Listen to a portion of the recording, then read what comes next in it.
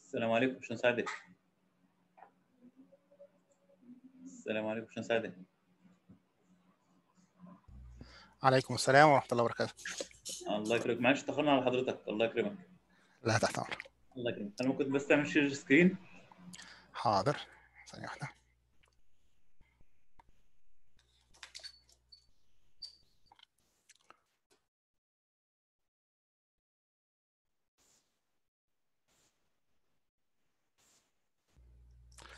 أنا مش أدمن فعشان كده مش عارف أعمل الشير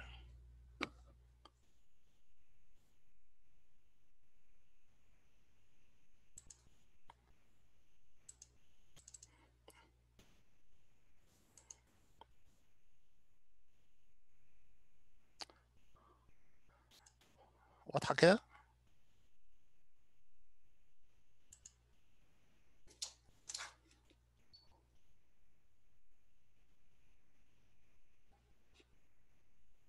ألو؟ السلام عليكم. عليكم السلام. باشمهندس واضح جدا ال PDF تمام. ماشي okay.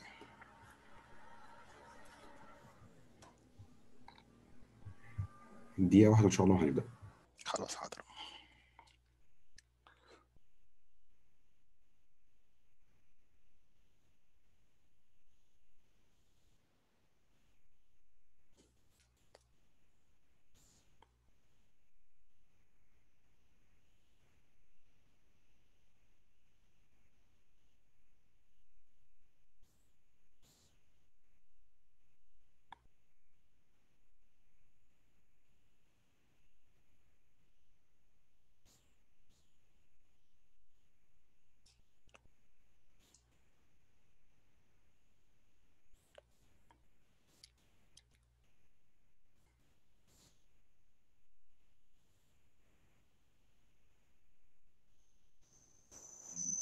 تمام يا باشمهندس حضرتك تقدر تبدأ.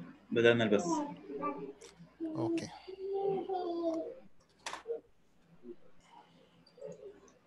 ثانية واحدة.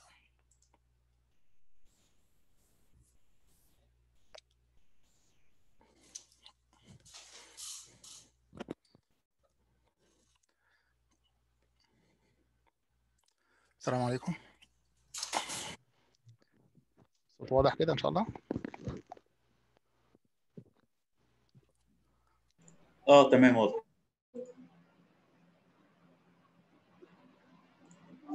تمام واضح.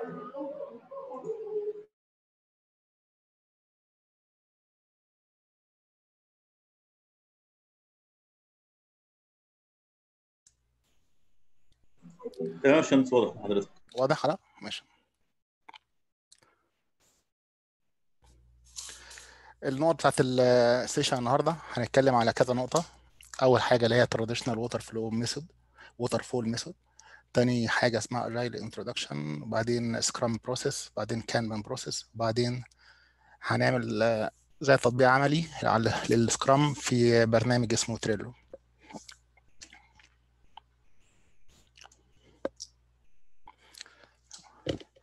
قبل ما ندخل في موضوع ال- ال agile عامة آه، عايزين بس نتكلم في نقطة بسيطة اللي هي التحديات اللي هي بتواجه دلوقتي موضوع أو ال- إدارة المشروعات عامة في أي مجال سواء construction سواء أي مجال في ال- في المجالات الموجودة.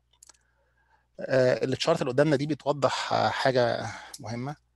يعني على سبيل المثال هنا المحور الأفقي ده عبارة عن ال- ال technology. المحور الرئيسي ده ال requirements اللي هي الطلبات. آه، ثانية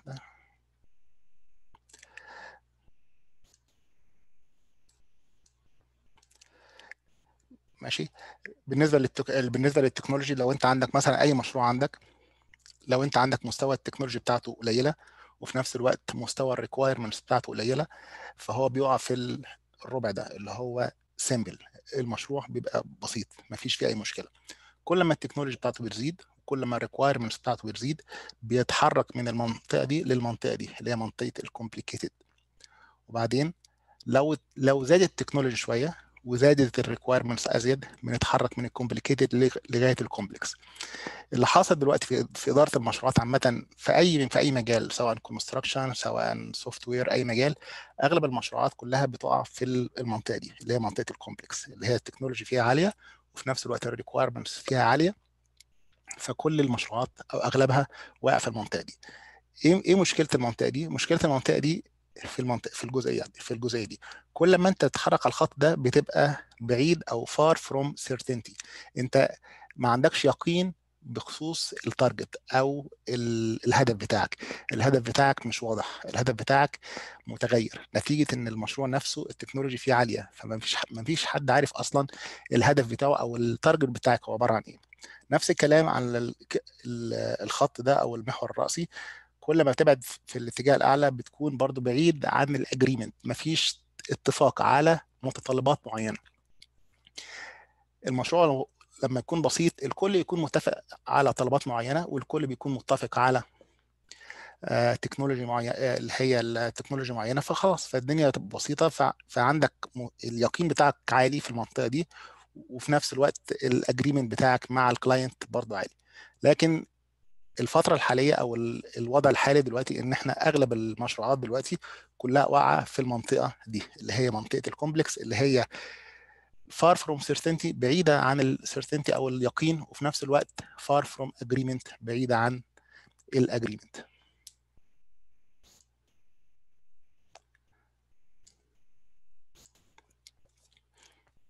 ماشي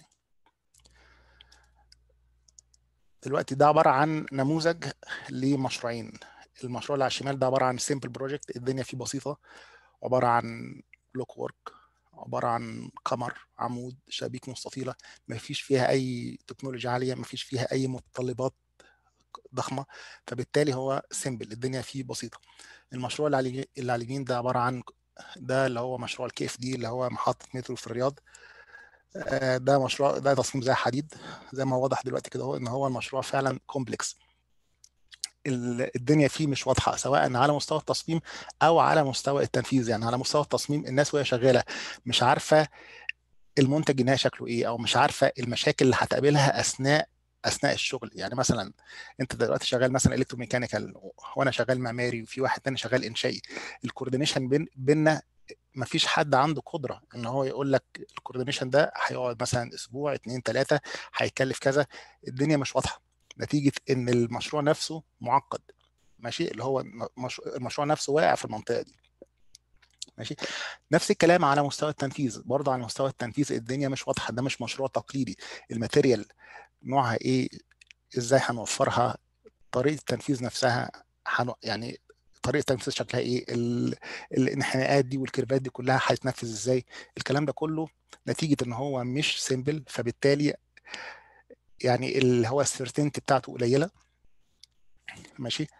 فداخل في الايه داخل في المنطقة دي. هنا هنبدأ بقى في المشروع في الموضوع بتاعنا النهارده اللي هو ال agile أول حاجة الشكل ده بيوضح حاجة اسمها traditional waterfall method دي الطريقة التقليدية في إدارة المشروعات دلوقتي في أي مجال construction أو غيره. عبارة عن إيه؟ أول حاجة بتكون plan driven يعني أنت عندك plan وكلنا مقيدين في ال plan ده. إحنا كلنا منساقين ورا ال plan ده.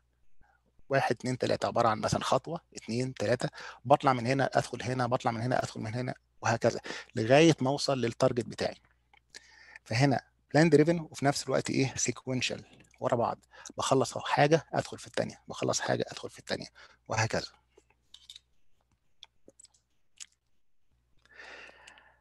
نتج على الكلام ده إيه دلوقتي؟ نفترض إن إحنا مثلا بنتكلم في مجال ال construction نفترض ده المبنى بتاعنا ده ال design بتاعه. خلاص. ال design بتاعه ده الجزء المعماري ده الإنشائي. خلاص. المعماري عنده plan ماشي عليه. والانشائي عنده plan ماشي عليه. بعد ما خلصنا المرحلة دي المعماري إدى ال electromechanical ال electromechanical بدأ يعمل الموديل بتاعه والمعماري شغال في الموديل بتاعه وال electromechanical وال civil شغال في الموديل بتاعه كل واحد عنده plan وماشي في اتجاه الإيه؟ الهدف. هنا ما تمش coordination نتيجة إن كل واحد مش شايف التاني كل واحد عينه على الإيه؟ على ال plan بتاعه أو plan driven المرحلة اللي بعديها وصلنا لهنا المعماري وصل لهنا ال electromechanical وصل لهنا.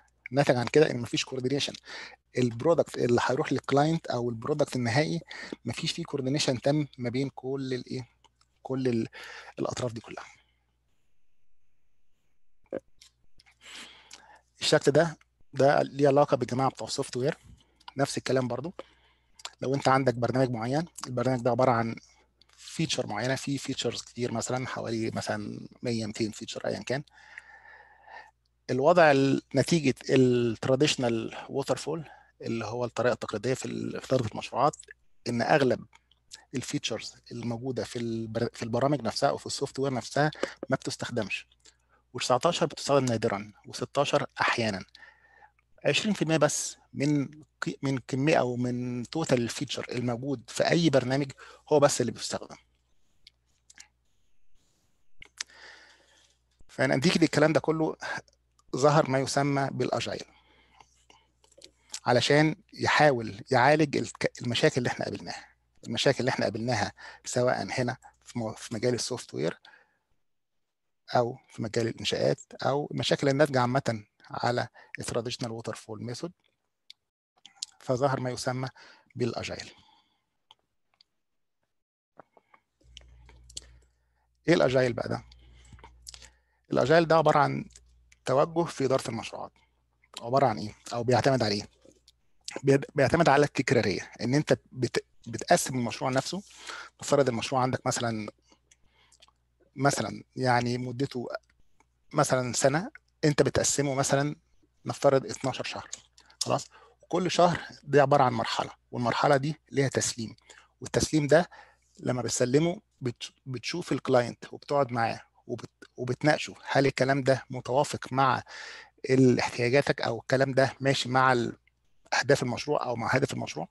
ففكرة الاجايل هي كده هم iterative approach to project management and software development that helps team deliver value to their customer faster and with few head headache. اللي هو عملية تكرارية. حتى واضح من الشكل إن هو عبارة عن دورات. define وبعدين دورة وبعدين ريليز وبعدين يدخل في دورة تانية وهكذا. وبعدين يدخل في دورة ثالثه وهكذا. ده ملخص الاجايل لو إحنا بصينا على الشكل ده نفترض ده خط المشروع اللي هو ال time ودي الفترات الزمنية المعينة. نفترض إن أنا بدأت هنا ومشيت لغاية النقطة دي من غير ما أعمل أي coordination من غير ما أشوف أي حد تاني من أي من ال participant اللي حواليا. وعملت هنا meeting نتيجة طول الفترة الزمنية فهيحصل إيه؟ ال change أو المشاكل ال coordination بتاعتي بتبقى كبيرة بالشكل ده. لو طولت الفترة الزمنية نفس الكلام. الايه المشاكل بتزيد في الاتجاه ده. يعني هنا company A؟ ال issues الناتجه عن تأخر ال coordination ما بين الأطراف المختلفة بتزيد. كل ما الفترة تزيد كل ما ال change بيزيد كل ما ال cost بيزيد كل ما ال time بيزيد وهكذا. نفس النظام نفس نظام company B برضو okay ال ال ال الموضوع مختلف لكن ما زال برضو كبير. كل ما تقلل الفترات الفترة دي مثلا قليلة شوية فأنت عندك ال change اللي عندك قليل. نفس الكلام أهو قللت أكتر وهكذا. فأنت عندك كل ما بتقلل الفترات كل ما أنت عندك تحكم فين تحكم في المشروع. وفي نفس الوقت ال issues اللي ظاهرة عندك نتيجة ال miscoordination ما بين الأطراف المختلفة issues قليلة لسه لم تتفاقم. يعني عندك أنت شغال مثلا electromechanical واحد تاني شغال معماري واحد شغال civil لو أنتوا عملتوا meetings مثلا لو أنتوا قسمتوا المشروع مثلا بدل بدل ما أنت هتسلم كل ست أشهر لا أنت بتسلم كل أسبوعين ثلاثة خلاص بتسلم جزء من ال model وال model ده بتعمل له coordination ما بين كل الأطراف. فبالطريقه دي أنت عندك كمية أو ال clashes اللي هتطلع هتكون يعني manageable يعني قابلة للإدارة. وفي نفس الوقت ال issues قليلة والتكلفة الناتجة عن التغيير ده قليلة. ولو أنت عندك مشكلة هتقابلها في خلال الفترة دي هتلاقيها برضو مشكلة قليلة. نتيجة إن الفترة الزمنية قليلة. لكن لو إحنا صبرنا مثلا قعدنا مثلا أنا شغال أنا معماري مثلا وقعدت شغال أربع خمس شهور والإنشاء نفس الكلام وال electromechanical نفس الكلام وفي آخر الفترة دي كلها اتقابلنا أو بعتنا ال models بتاعتنا مع بعضها وشفناها مع بعضها فنفاجئ إن في كارثة بتحصل والدنيا كلها مش ماشية مع بعض مش ماشية تماما هيحصل تغيير التغيير ده يعني cost التغيير ده يعني time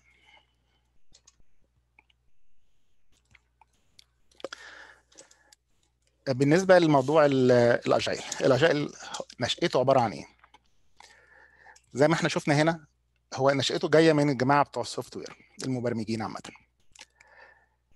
دي المشكلة الم- ال- الموجودة عند. في في اللي هو القطاع البرمجيات أو الناس اللي هم المبرمجين عامة إن 45% من ال features اللي هو اللي هي موجودة في البرامج غير مستخدمة أو بمعنى تاني 20% بس هي المستخدمين الباقي كله مش مستخدمين فبالتالي أنت دلوقتي بتبذل مجهود بتقعد مثلا سنة بتعمل مثلا برنامج معين برنامج مثلا لبنك بتعمل application على الموبايل بتعمل أي شيء خاص بال بالبرمجة عامة. وبعدين لما تيجي تسلم المشروع تفاجئ إن المشروع اللي أنت مسلمه ده 20% منه مستخدم الباقي كله مش مستخدم. ماشي؟ وهتلاقي نتيجة التقدم العلمي والتكنولوجي اللي هي المستمرة في مجال البرمجيات عامة. ال- اللي أنت اللي أنت عملته أو اللي أنت عملته في نهاية السنة دي أصبح خلاص يعني قديم وقابل للتطوير والمشروع بتاعك أصبح يعني إيه غير مستفاد. فنتيجة المشكلة دي كلها الجماعة بتوع البرمجيات زي ما اتفقنا سنة 2001 عملوا زي ميتنج كده أهو في أمريكا. 17 واحد من من جميع أنحاء العالم اجتمعوا مع بعضهم بيناقشوا المشكلة دي. ماشي؟ المشكلة كلها اللي هي uh, company were so focused on excess- excessively planning and documenting their software.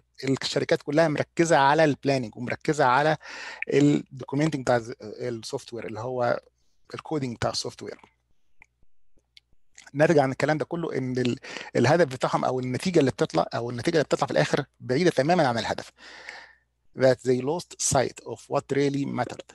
بيفقدوا الرؤية أو مش الرؤية بتاعتهم تقريبا خلاص مش واضحة. انت أنت شغال في مشروع ومركز فيه وأنت عبارة عن planning plan driven ويعني إيه والدنيا حواليك عمالة تتغير وأنت متقيد في متقيد بيه وفي الآخر تفاجئ إن المشروع بتاعك ده أصبح قديم يعني. فالمهم هما مع نهاية الاجتماع دول عملوا إيه؟ عملوا ما يسمى بحاجة اسمها Agile Manifesto أو بيان Agile من ساعتها من 2001 لغاية دلوقتي تقريبا كل شركات ال software أو كل المب- المبرمجين عامة كلهم شغالين بالنظام ده نظام ال Agile ده النظام السائد هناك عامة. وفي نفس الوقت الموضوع بدأ ي- يعني إيه يتحرك أو يعني يروح قطاعات تانية. راح قطاعات الإنشاءات وأي قطاع تاني في project management الموضوع بدأ يعني إيه يتوسع. مش مجرد البرمجيات بس لأ دخل في ال construction ودخل في البر... في الإيه في المجالات التانية. آه لو ناخد بقى فكرة عن الموقع نفسه أو ال- اللي هو Agile Manifesto نفتح هنا الموقع ده.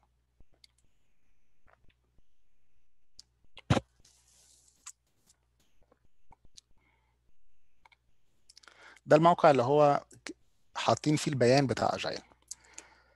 آه، زي ما قلنا عبارة عن 17 شخص قعدوا هناك في في 2001 وطلعوا بيان تقريبا مكون من 68 كلمة.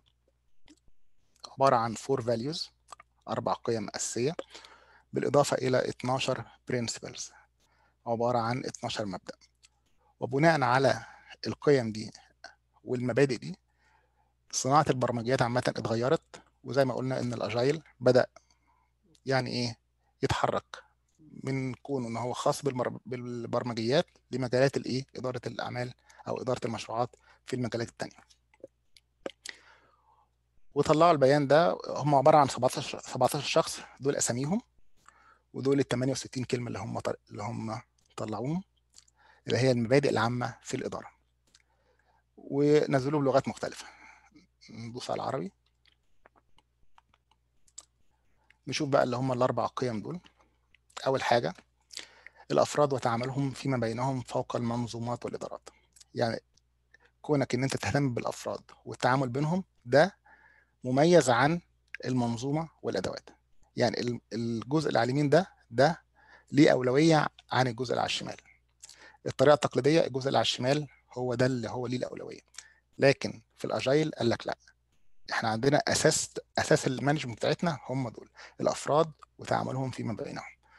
رقم اثنين البرمجيات الصالحة للاستعمال فوق التوثيق الكامل. نركز في البرمجيات اللي, بت... اللي بتستخدم أكتر من إن إحنا نقعد نوثقها ونقعد نكتب ال coding بتاعها. ثالث حاجة تعاون ومشاركة العميل فوق التفاوض حول العقد. الأولوية بتاعتنا هي العميل أولويتنا هي تحقيق طلبات العميل. رابع حاجة الاستجابة للتغييرات فوق الالتزام بمخطط عمل محدد. طريقة المانجمنت العادية بنتعامل مع التغييرات على إنها شيء بنحاول نتجنبه ونتفاداه بقدر الإمكان. الاجايل قال لك لأ التغييرات دي عبارة عن opportunity. opportunity لينا للتميز فرصة إن إحنا نتميز. فبالتالي وفي نفس الوقت هي كده كده جاية نتيجة إن إحنا زي ما شفنا التشارت الاولانيه خالص إن أنت المجال أو مجال إدارة المشروعات فيها تكنولوجيا عالية فالتغييرات كده كده جاية. بدل بقى ما نتجنبها لأ إحنا بنستجيب بنستجيب للتغييرات بل بالعكس بنشجع عليها كمان. هنك هنشوف هنا المبادئ اللي هي الأجايل ال 12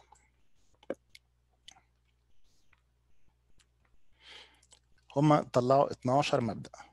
المبادئ دي هي دي اللي هي إيه؟ اللي هي الهدف أو القيم أو ال reference ال reference لأي ناس شغالين في مجال ال software وبعد كده زي ما قلنا دخلنا في إيه في المجالات التانية. لو نقراها مع بعض هدفنا الأسمى هو إرضاء العميل. الهدف الأساسي عندنا هو ارضاء العميل عن طريق التسليم المبكر والمتواصل لبرمجيات ذات قيمة. تاني حاجة الترحيب بتغيير المتطلبات. إحنا بنرحب بنرحب بالتغيير ما بنحاولش نتجنبه. ولو في مراحل متقدمة من التطوير فمناهج الاجايل تسخر عم تسخر التغيير لصالح الميزة التنافسية للعميل. ثالث حاجة تسليم برمجيات صالحة للاستعمال على فترات منتظمة من أسبوعين إلى إلى شهرين مع استحسان المدة الزمنية الأقصى على طول زي ما قلنا إن إحنا الأجايل قسم المشروع لأجزاء صغيرة بحيث الجزء الصغير ده عبارة عن تسليم. بدل ما بدل ما أنا أقعد ست شهور عشان أطلع واسلم حاجة واحدة لأ ده أنا بسلم كل شهر أو كل ثلاث أسابيع بسلم مرحلة اثنين ثلاثة أربعة خمسة وهكذا. كل مرحلة لها تقييم وكل مرحلة الكلاينت بيشوفها ويبدي رأيه فيها ونشوف هل في تغيير ولا ما فيش تغيير. بعدين يجب أن يعمل كل من المهنيين العارفين بالمهنة والمطورين معا بشكل يومي خلال فترة المشروع. الشغل عامة كله بصورة يومية. الاعتماد في بناء المشاريع على أفراد متحمسين مع توفير البيئة المناسبة والدعم اللازم ومنحهم الثقه من أجل إنجاز العمل. بعدين أكثر الطرق فعاليه وتاثيرا لتواصل المعلومات إلى فريق التطوير بين أفراده هي التخاطب وجها لوجه بيشجع على إن كل الأفراد تكون متفاعلة مع بعضها والتخاطب وجها لوجه. البرمجيات الصالحة للاستعمال هي المقياس الرئيسي للتقدم. مناهج ال Agile تشجع التطوير المستدام ينبغي على الرعاة والمطورين والمستخدمين أن يكونوا قادرين على الحفاظ على الحفاظ على وتيرة ثابتة على الدوام. هنا الاهتمام المستمر بالتفوق التقني. بعدين البساطة أهم شيء البساطة مش عاوزين أي حاجة complicated ال requirements تبقى بسيطة والطلبات بسيطة وال target بتاعنا بسيط. إن أفضل البنيات والمواصفات والتصميمات تنبثق من فرق العمل ذاتية التنظيم. الفرق نفسها اللي هتتقسم بتكون ذاتية التنظيم. self organized يراجع فريق العمل على فترات منتظمة كيف كيف يصبح أكثر فعالية ثم يدقق ويضبط سلوكه وفق لذلك. زي ما قلنا إحنا بنعمل إيه؟ بننفذ على فترات متقطعة. وطول ما إحنا بننفذ طول ما إحنا بنعمل تقييم بنعمل تقييم لل team نفسه بنعمل تقييم للمنتج نفسه بنعمل بنعمل تقييم لل requirements نفسها بحيث إن إحنا على طول في عملية تغيير مستمره وعملية تطوير مستمر نرجع تاني لل slides ده الإعلان بتاع ال Agile ودي المبادئ اللي إحنا اتكلمنا فيها وده ال link بتاعها. ده مجرد سكتش موضحين بس إيه في ببساطة ال four goals ال four values الأربع قيم الأساسية ماشي؟ إيه مفضل عن إيه individual and interaction over process and tools working software over comprehensive documentation الكلام اللي إحنا قلناه قبل كده. ودول ال 12 مبدأ.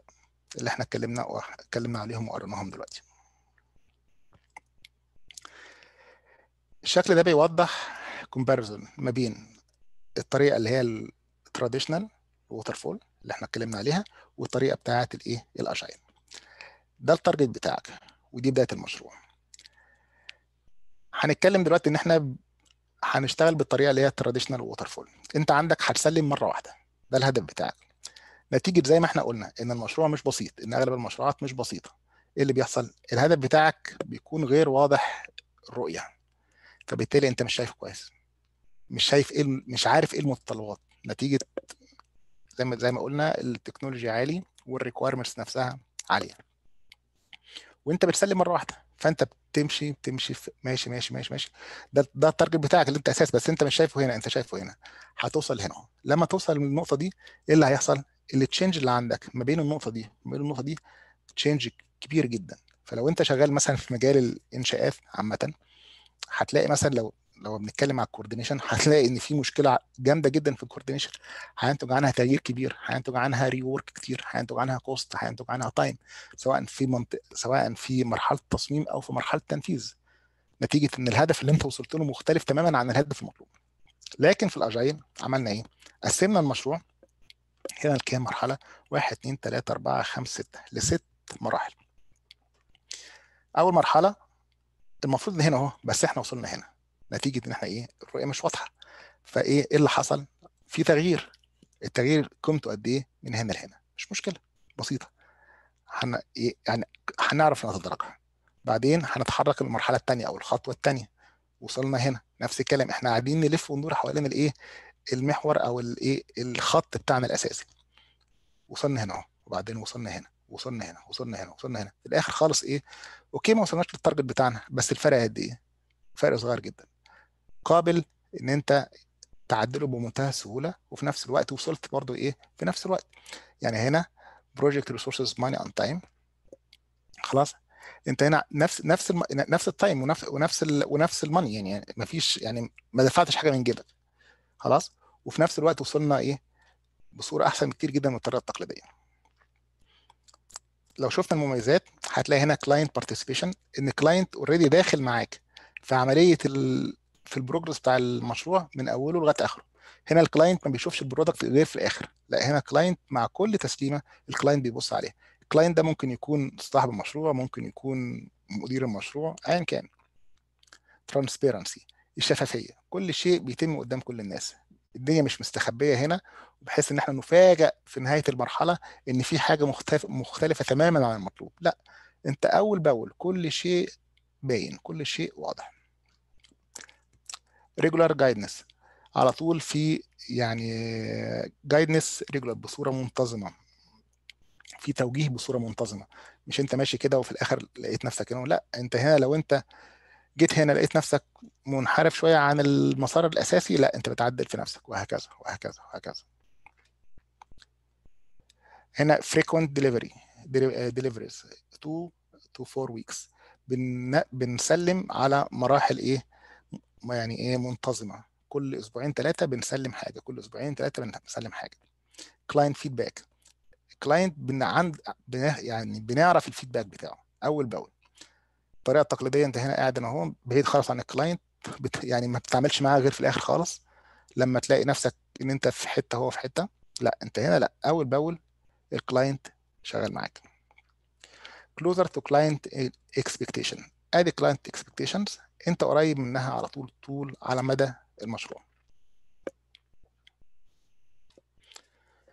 دي عبارة عن comparison ما بين ال waterfall traditional method وال Agile organization department teams. هنا في المجال أو في. في التنظيم عامة في ال waterfall method أنت الموضوع عبارة عن أقسام. قسم ال technical قسم ال technical قسم ال civil قسم ال site قسم ال MEP ايا كان. هنا لا teams ال team نفسها فيها كل كل الإيه؟ التخصصات دي. people specialist هنا cross function الناس اللي هنا في ال waterfall متخصصين أنا شغلتي معماري بس أنا شغلتي electromechanical بس لأ هنا لأ. هنا cross function أنا شغلتي معماري وعندي خلفية على ال electromechanical هو شغلته electromechanical وعنده خلفية على المعماري. أي نعم هو متخصص أو داخل بعمق في المجال بتاعه بس عنده خلفية على باقي التخصصات. ال process flow linear cyclical اللي هي صورة دورية. هنا زي ما قلنا طريقة linear خط واحد وخلاص. لكن التاني cycle دورات. كل أسبوعين ثلاثة بسلم حاجة كل أسبوعين ثلاثة بسلم حاجة وهكذا. ال project scope fixed ال scope بتاع ال waterfall fixed إحنا ما بنقبلش التغيرات مش عاوزين تغييرات عندنا. لكن هنا variable يعني أنا بنشجع التغييرات. ال project cost fixed in theory يعني نظريا ال cost إيه؟ ثابت. لكن طبعا نتيجة التغييرات اللي بتحصل ال cost بيتغير معانا. هنا ال cost في ال Agile fixed وبعض الأحيان variable design up front ده في مجال ال software عامة. أنت بتصمم up front هنا ال design just in time بتنفذ يعني التصميم أول بأول.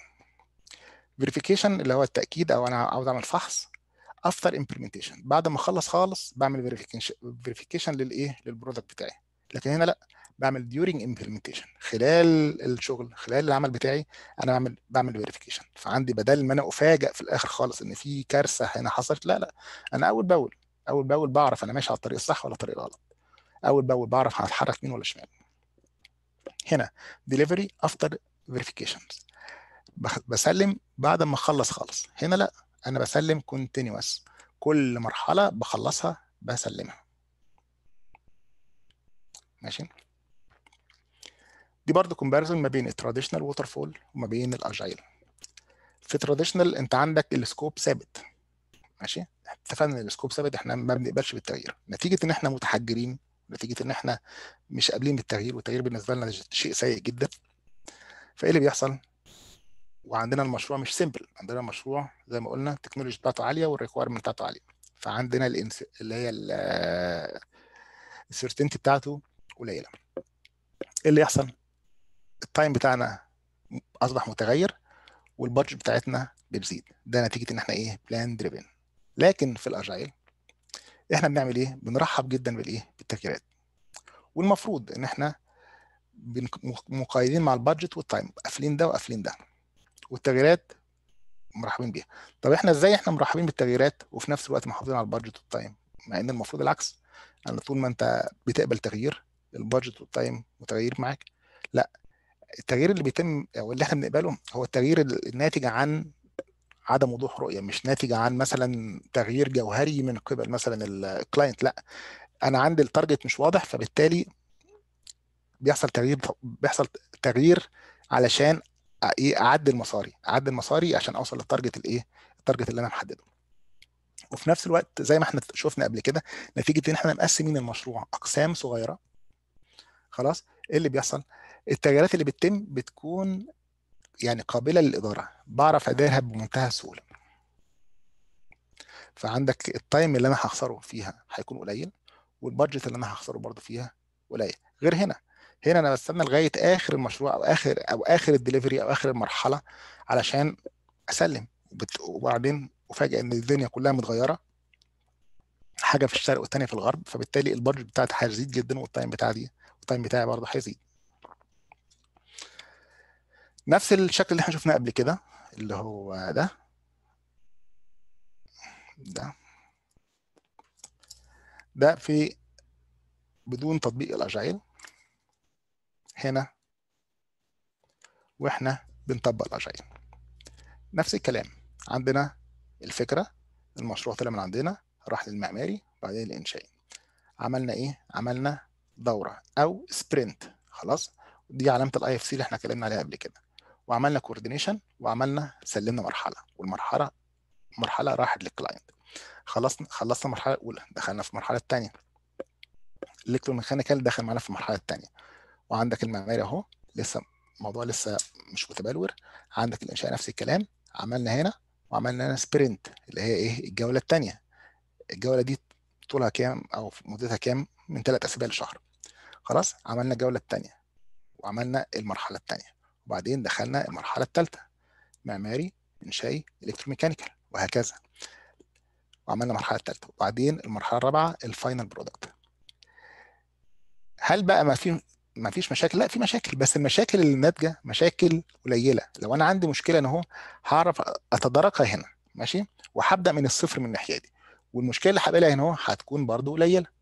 فال cost بتاعها هيكون قليل وال time بتاعها هيكون قليل وهكذا. وهعرف أعالجها أنا أهو وهتحرك للجولة الثالثه أو ال sprint رقم ثلاثة وأنا يعني إيه مفيش مفيش معايا مشاكل. وفي نفس الوقت أنا already يعني في عندي transparency خلاص الناس كلها شايفة بعضها والناس كلها شغالة من الأول مفيش مفاجآت أنا ما عنديش مفاجآت فعندي ال risk قليل.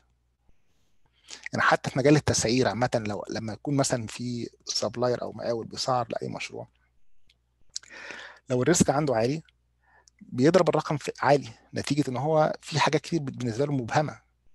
لكن لو ال risk عنده قليل بيخلي إيه القيمة بتاعته أو قيمة العقد بتاعته أو قيمة العطاء بتاعه قليل فبالتالي عنده فرصة إنه يكسب العطاء ده. فأنت شغلك بال agile برضه كويس للمقاولين. عامه في مرحله في مرحلة العطاءات إن أنت already بتعرف تقدم نتيجة إن ال risk اللي عندك قليل ناتج عن التغييرات فأنت بتقدم سعر قليل فبالتالي عندك فرصة أحسن في إنك تكسب العطاء وهكذا. آه خلصنا إيه؟ ال agile عامة. هندخل على ال scrum. إيه ال scrum بقى ده؟ ال agile هي عبارة عن مبادئ و values زي ما إحنا قلنا. أنت دلوقتي أو أنا دلوقتي عرفت ال values وعرفت المبادئ وخدتها عندي في الشركة وعايز أطبقها. خلاص أطبقها. يعني هو الراجل بيقول لي انت عندك مبادئ كذا 1 2 3 4 لغاية 12 وعندي values كذا 1 2 3 4 خدها طبقها. فأنا خلاص أنا هاخدها هطبقها. فنتج عن كده إيه؟ إن كل واحد بيطبقها بطريقته. في ناس بيطبقوها بال lean في ناس بيطبقوها ب scrum في ناس بيطبقوها ب kanban في ناس بيطبقوها بطرق تانية. فكل دي أو كل دول ده عبارة عن framework تحت إيه؟ تحت ال agile يعني ال agile هي الفكرة الأساسية أو ال methodology الأساسية أو المنهجية الرئيسية وتحت منها إيه؟ تحت منها frameworks طرق تطبيق. أنا بطبق مبادئ ال agile بال scrum. أنا بطبق مبادئ ال agile بال kanban أنا مش عايز الناس دي كلها أنا عامل طريقة خاصة بيا في الشركة وبطبق بيها منهج ال agile. خلاص عادي مش مشكلة. ممكن ما تتبعش أي الكلام ده كله. لكن أنت عندك مبادئ ال agile بتتبعها خلاص بتقسم المشروع لأقسام وهكذا. ماشي. أنت عندك مبادئ ال agile already شغال شغال بيها لكن أنت ال framework بتاعك غير الناس دي كلها. ماشي. بس إحنا ليه بنفضل الطرق الطريقة دي؟ لأن الطرق دي طريقة مجربة بقالها سنين والناس جربوها واثبتوا أثبتت نجاحها وفي نفس الوقت اتطورت. فبدل ما أبدأ من الصفر أبدأ من حيث انتهى الآخرون. أبدأ على حاجة already طبقت حاجة already بيتعمل فيها certificates وزيها زي ال PMP مثلا كده يعني ال scrum مثلا ده في في في في منها شهادات زي ال PMP تقول أنت certified مثلا scrum وهكذا.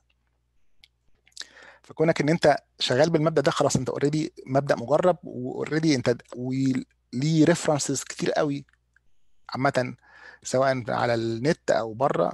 فبالتالي يستحسن إن أنت تبدأ في حاجة جاهزة بدل ما تبدأ بحاجة من الصفر.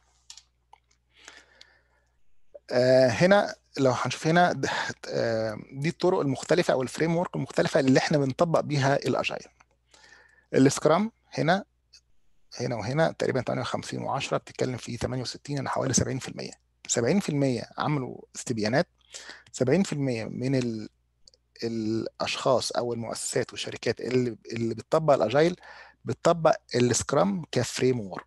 يعني أنا عندي ك framework بس بطبق بيه الإيه؟ ال Agile. زي ما اتفقنا ال Scrum مش هو ال Agile. ال Agile ده عبارة عن فكرة عامة مبادئ. لكن ال Scrum عبارة عن إيه؟ عبارة عن framework. أنا بطبق ال Agile بال Scrum بطبق ال Agile مثلا بال Kanban بطبق ال Agile بال Lean Development وهكذا. دي كيفية تطبيق الايه ال Agile وليس وليس ال Agile فالمهم دخلنا إيه؟ خلصنا كده. ال Scrum ده عبارة عن إيه؟ ال Scrum ده ده من زي ما قلنا اهو Scrum is framework that helps team work together عبارة عن framework بيخلي الناس تشتغل مع بعضها. Much like a rugby team زي ال rugby team اللي هي where it gets its name. في لعبة الرجبي الحركة دي أو اللي هم عاملينه ده اللي هم عاملينه دول ده اسمه scrumming اللي هم إيه الفريق كله متكتل أو على على الكورة أو على هدف معين بحيث إنهم كلهم self organized كلهم مركزين على هدف واحد. فبالتالي جاء موضوع فكرة أو لفظ ال Scrum ال Scrum نفس الكلام. عبارة عن مجموعات ليها هدف واحد كلهم ملمومين عليه بحيث إن هم إيه يعني يعملوه.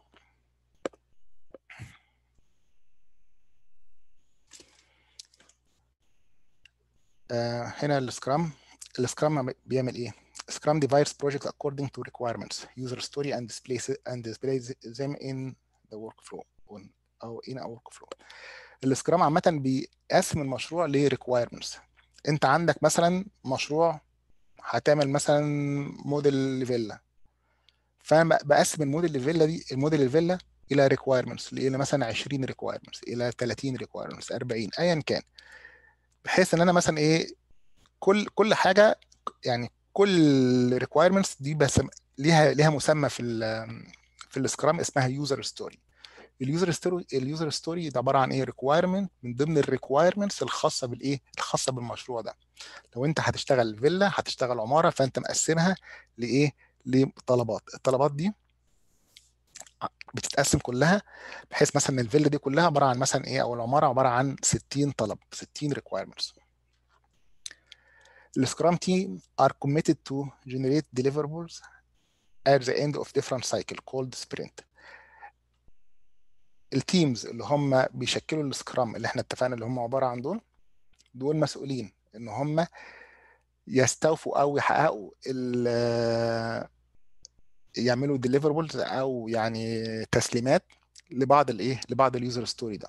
يعني أنت عندك مثلا 60 user story قسمناهم خمسة خمسة خمسة فالخمسة story دول الجم... ال team ده هياخدهم وهي إيه وهيعملهم. لو قرينا برضو التعريف بتاعها Scrum a framework within which people can address complex adaptive problems.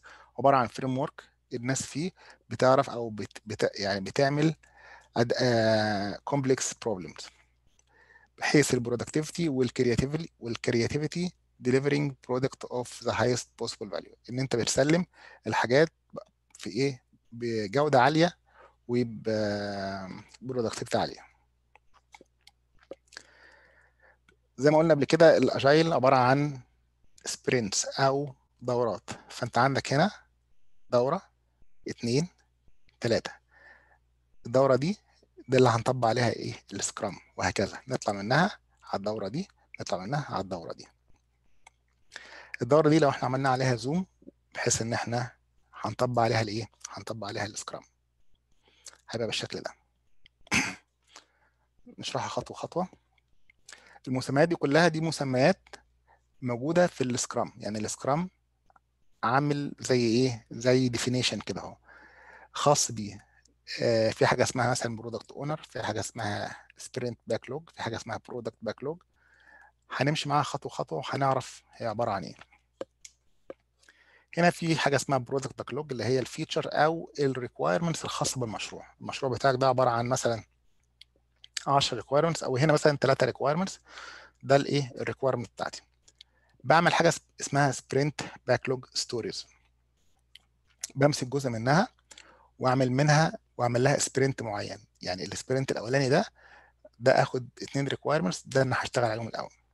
وبعدين أدخل هنا في الإيه؟ ال team ال team ده عبارة عن إيه؟ عبارة عن team واحد اسمه product owner والتاني اسمه آه اللي هو Scrum master ده ال team عامة اللي هو اللي إحنا اتكلمنا عليه إن هو الوحدة آه وحدة ال Scrum نفسها. وهنعمل حاجة اسمها sprint أو دورة هننفذ فيها جزء من المتطلبات اللي هي الجزئية دي بس هننفذها في خلال فترة من إيه؟ من واحد لأربع أسابيع. ماشي؟ خلال الدورة دي في عندنا في حاجة اسمها daily stand up أو daily scrum meeting ده كل يوم الصبح قبل قبل ما نبدأ شغل بنشوف إيه اللي عملناه امبارح إيه اللي هنعمله النهارده إيه المشاكل اللي إحنا قابلناها بحيث إن إحنا نتجنبها. ده تقريبا ربع ساعة أو 10 دقائق خلاص؟ قبل الكلام ده كله في حاجة اسمها معلش sprint planning sprint planning إن أنت بتقعد الأول كل أطراف ال... كل اطراف كل ال team بتاع ال scrum بيقعد مع بعضه ويعمل planning للإيه؟ لل... للدورة دي أو لل sprint الدورة يعني sprint ماشي؟ ده كمسمى إيه؟ مسمى خاص بال scrum. فبنعمل planning لل... لل sprint ده. هنعمل فيه إيه؟ ال ال ال requirements أو ال user story ما فيش حاجة اسمها requirement ما فيش حاجة بقى اسمها requirements في حاجة اسمها user story إيه ال user story اللي أنا هنفذها هنفذها خلال قد إيه؟ إيه تفاصيلها؟ إيه ال task ات اللي المفروض أعملها؟ إيه ال definition of done يعني أنا عشان أكون خلصت الكلام ده كله. أعرف منين أنا خلصت؟ ال requirements دي عشان أخلصها أو ال user story ده عشان أخلصه. أقول لك أنا خلصت طب خلصت بناء على إيه؟ خلصت إن أنا عندي مثلا ال check list 1 2 3 4 لو ال check list كلها جاهزة خلاص يبقى أنت كده إيه؟ خلصت الإيه؟ خلصت ال user story دي. ونبدأ الجولة دي أو نبدأ الدورة دي. كل يوم في حاجة اسمها daily stand up عبارة عن ربع ساعة وهكذا لغاية ما نوصل لغاية الإيه؟ الآخر. ونسلم إيه؟ نسلم ال product بتاعنا أو ما يسمى ال increment اللي هو التسليم المرحلي. خلاص؟ خلال الدورة نتيجة إن في تغييرات بتتم فبنعمل حاجة اسمها إيه؟ product backlog refinement أو update ال product backlog بنعمل له تحديث نتيجة خلاص إن دخلنا دخلنا في الموضوع وعرفنا الدنيا فيها إيه حصلت تعديلات فعملنا تعديل في الايه في ال product backlog اللي هو الأولاني. لما نخلص الدورة دي في حاجة اسمها sprint review بنعمل إيه؟ بنقف ونشوف إحنا عملنا إيه في في الجولة دي أو في ال sprint ده. إحنا عندنا مثلا في 10 user story عملناهم قيمناهم خلصوا. هل في تغييرات؟ هل حصل إيه؟ وهكذا. sprint retrospective ده حاجة زي تقييم. أنا قبل ما أبدأ ال sprint اللي بعديها لازم أقيم نفسي أشوف إيه الحاجات اللي عملتها وإيه المشاكل اللي قابلتها وإيه الحاجات الكويسة اللي المفروض أزودها وإيه الحاجات السيئة اللي المفروض أتجنبها وهكذا. فدي دي دورة ال sprint عامة اللي هي أساس ال scrum. دي الدورة دي بتتكرر مرة اتنين تلاتة أربعة لغاية ما يخلص المشروع. دلوقتي هندخل تاني هنشوف بقى المسميات دي بصورة أكثر تفصيلا. ده ال scrum team. ال scrum team عبارة عن إيه؟ في حاجة اسمها scrum master scrum master ده اللي هو ال leader ال leader بتاع ال team ده ال team ده ال team بتاعك. اللي هو مكون من ست أشخاص خمسة وهكذا. قول مثلا من أربعة لغاية 10 ده ال team بتاعك. خلاص؟ الوحدة بتاعتك. الوحدة دي ليها team leader أو BIM coordinator خلاص؟ هو ده وظيفته أو ده المسمى بتاعه. scrum master ماشي. وهنا حاجة اسمها product owner product owner ده ده الشخص المعني المسؤول على مع التواصل مع ال owner ومعرفة ال requirements الخاصة بيه. وفي نفس الوقت هو برضه اللي بيسلم لل end user المنتج بتاعه. هو أقدر شخص على معرفة ال requirements الأساسية أو ال user story على حسب مسميات ال scrum اللي أنت هتنفذها. يعني هو ده يعني إيه نقطة الوصل ما بينك وما بين ال client الناس اللي هنا يعني ما بتواصلوش مع الناس اللي هم ال stakeholder اللي فوق غير في التسليمات ممكن. لكن معرفة الاحتياجات معرفة المتطلبات معرفة إيه المطلوب يتعمل لأ عن طريق ال product owner. طبعا ده زي ما قلنا ده ال framework بتاع ال scrum. ده scrum ده اللي هو متعارف عليه. scrum team the fundamental unit of Scrum is a small team of people. اللي هو scrum team. الوحدة بتاعت ال scrum هي ال scrum team بتكون إيه؟ بتكون scrum master و product owner ده واحد ده واحد and developer ال developer ده عشان إحنا بنتكلم طبعا إحنا عارفين زي ما قلنا أساس ال scrum هو عبارة عن إيه؟ software فبالتالي بيتكلم عن ال developer اللي هم الناس اللي هم المطورين بتوع ال software آه لو هنتكلم هنا ده ال customer or customer representative ده اللي هو ال product owner ده الممثل المالك ده ال product owner ده المكافئ ليه. لو انت هتطبق BIM ده عبارة عن إيه؟ project manager أو ال BIM manager على حسب حجم المشروع. هو اللي إيه؟ هو اللي بيتقابل أو هو هو اللي بيعرف learn about final product or service that you want to obtain and how how it should be. هو اللي عنده معرفة بال product النهائي وازاي هيتسلم. Define scheduling and delivery schedule. هو برضه اللي بيعمل ال scheduling وال delivery schedule ال team leader أو ال scrum ال Scrum Master ده اللي هو إيه؟ ده اللي هو lead organized و give support to rest of member هو اللي بي lead ال team بتاعه هو اللي بيعمل أو بيعمل يعني أو ليهم هو اللي بيديهم support هو مش مدير هو leader هو بيعرف إيه؟ بيذلل العقبات. يعني أي مشاكل عندك هو اللي إيه عنده قدرة أو إيه يحلها لك. مش مدير. لأن ال scrum أو ال agile عامة هي عبارة عن إيه؟ عبارة عن self organized يعني كل واحد مدير نفسه. Implementation team. uh, it's formed by the rest of professional. ده ده ال team بقى نفسه ده اللي بينفذ أو ده اللي ده اللي بيشتغل.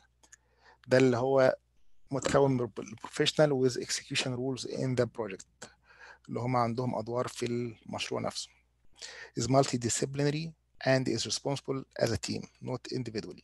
كلهم مسؤولين على الموضوع ده ك team ده المكافئ ليه في ال BIM عبارة عن integrated design project team ده المسمى الأساسي ماشي؟ وده المكافئ ليه لو أنت هتطبقه في ال BIM. هنتكلم دلوقتي على ال ما يسمى ال product owner and product backlog ال product backlog زي ما إحنا قلنا نقراها بسرعة. The product backlog is an ordered list of everything that is known to be needed in the project. عبارة عن list ة بجميع الاحتياجات الخاصة بالمشروع. ال single source of requirements هو المصدر الوحيد للإيه؟ لل requirements مفيش حاجة مفيش requirements ثانية تيجي بره بره بره ال product log for any change to be made to the product. أي تغيير هيتم لازم يتم عن طريق الإيه؟ ال product backlog اللي هي list ة بجميع الإيه؟ بجميع المتطلبات بجميع الطلبات. مين المسؤول عنها بقى؟ the product owner is responsible for the product backlog. المسؤول عنها هو الشخص الوحيد المسؤول عنها هو ال product owner هو العنصر الوصلي ما بينك وما بين ال client هو اللي بيعرف البرو... هو اللي بيعرف المنتج هو اللي بيعرف ال requirements هو اللي بيعرف الكلام ده كله. الكلام ده كله ممكن تعمل له refinement بعدين عن طريقك انت. ك team أو Scrum Master أو ك team لكن هو اللي بيحط الايه الحجر الأساس أو. اول نقطه يعني هنا المرادف ليها في ال BIM اللي هو the list of BIM design requirements that are needed to achieve a certain release and prototype لو انت عندك list لل design requirements انت حت... انت مثلا المفروض هتسلم مثلا موديل مثلا المرحلة الجاية. ال list مثلا اللي هي كل الطلبات الموجوده في الموديل دي هي دي ما يسمى ال product backlog اللي هي ده. يعني هنا ال product owner بيعمل ما يسمى ال product backlog المسميات دي كلها مسميات scrum يعني إحنا مش مخترعينها ده اللي هو إيه؟ اللي هي لما نتكلم نتكلم بيها. بعدين هنتكلم على ال sprint planning meeting بنعمل meeting علشان نعمل sprint planning انت دلوقتي المشروع بتاعك عبارة عن إيه؟ عبارة عن sprints كذا واحدة. عبارة عن فعاوزين نعرف انت هت... انت هتنفذ المشروع في كام sprint وال sprint ده إيه ال user story اللي فيه؟ أو إيه الحاجات اللي انت هتعملها في الايه في ال sprint ده؟ ده بيتم فيما يسمى ال sprint planning meeting بنعمل meeting بن... بنطلع من ال meeting ده عباره ب list ة ضخمة عبارة عن sprint واحد sprint اثنين sprint ثلاثة ال sprint واحد ده في إيه؟ في user story واحد اثنين ثلاثة sprint اثنين في user في user story مثلا أربعة وخمسه وسته وهكذا. The work to be performed in the sprint is planned as the sprint planning. أي شغل هيتعمل في ال sprint ده بيتم تخطيطه فين؟ في ال sprint planning this plan is created by the collaborative work of the entire scrum team. ال plan ده بيتم مين اللي بيعمله؟ جميع الأطراف بتوع الايه ال scrum team sprint planning is time boxed uh, to a maximum of 8 hours for one month. ال sprint meeting ده عشان ما تبقاش مفتوحة هي عبارة عن ساعتين اسبوعيا. فلو أنت عندك ال sprint مدته أربع أسابيع فبتتكلم 2 في 4 ب 8 ساعات. لا تتجاوز 8 ساعات. ماشي؟ For a shorter sprint the event is usually shorter. طبعا كل ما يقل ال sprint كل ما الايه كل ما ال event نفسه أو ال meeting بيبقى قليل. Scrum Master ensure that the event the event take place and the attendants understand its purpose. ال Scrum Master أو ال team leader بتاع الفريق نفسه لازم يحرص إن جميع الناس حاضرين وكل الناس فاهمة إيه اللي بيجرى إيه ال user story ده.